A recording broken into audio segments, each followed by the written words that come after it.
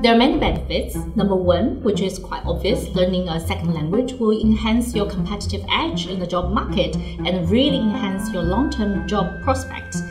I think the networking is very important for students because they need the global environment and the program will offer the opportunity for them to be together and with the leaders from different companies Secondly, Chinese economy is obviously continue to grow and it's going to maintain that way. It has huge consumer power. So learning Chinese, it will help you pursue business opportunities in the long term. My understanding is the cultural element is important.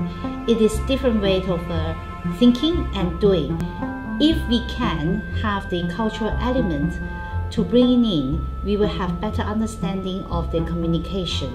We are very lucky to have the Confucius headquarters support because the Confucius headquarters provides the uh, large amount of uh, scholarship to support the young leaders to be there.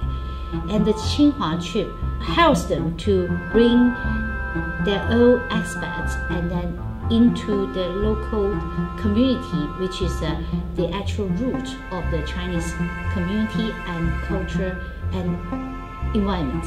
And finally, as a language teacher, I feel I really want to highlight the benefits of learning language in general.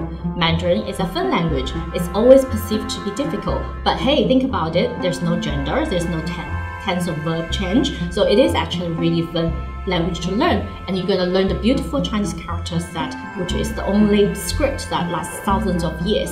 So I think bring all these different elements into consideration. It is great program to help you both in terms of your career, your life, your culture. So join us.